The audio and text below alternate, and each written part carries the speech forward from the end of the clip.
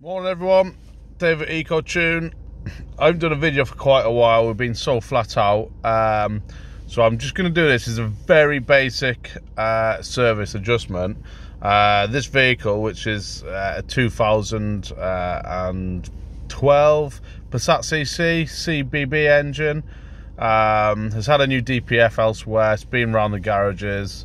They've tried various tools to do a DPF reset on it. Tell it's had a new one fit in, uh, fitted, reset the ash count uh, and the soot count, um, and no one's been successful with it. Um, I'm going to show you on Autel um, how to do it the simple way. And if you do use ODIS, uh, which is the dealer system, you'll see the similarities between this and ODIS. Um, so we've already got into the basics. We're going to go into guided functions. We're going to select the control unit that we require, which is going to be the engine control unit. What we're going to do now is we're going to adapt the adaptation values for the particulate filter. Um, so we're going to tell it we fitted a new particulate filter. Just explains there what you're doing and have you replaced replaced the uh, diesel particulate filter.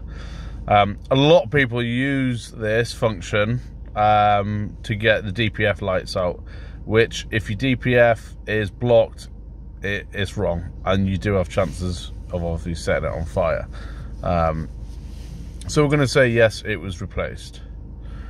Uh, it's going to say we're now going to replace everything to zero. Start the engine, allow it to idle, which it is doing. Take it up to 1500 RPM. I'm going to guess this.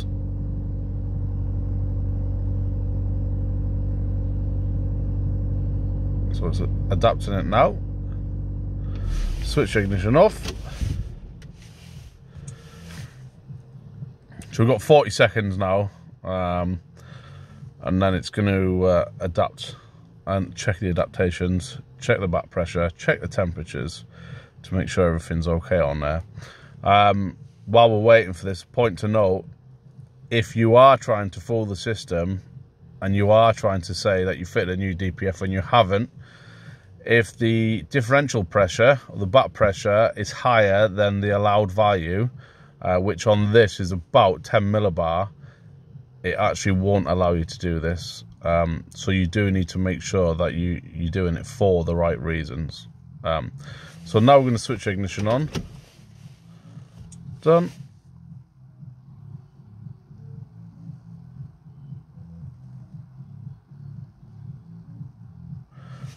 Zero, zero. We're not in the clear yet because it's now going to test. Done start the engine. Start the engine, done.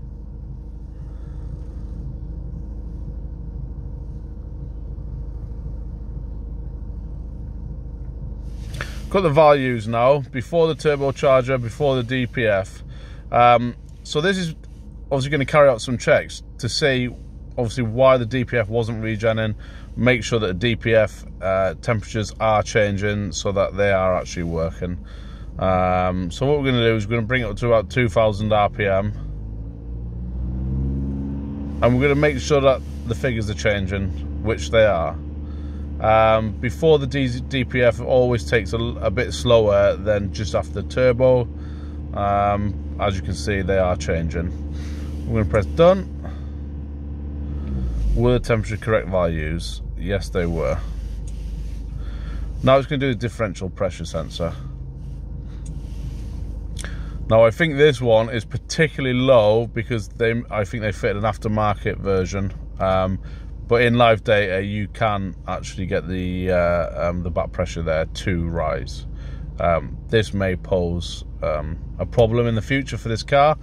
Um, but let's see if this was successful in the permissible range.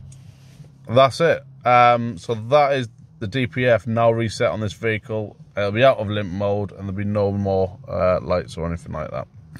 Cheers. Bye-bye.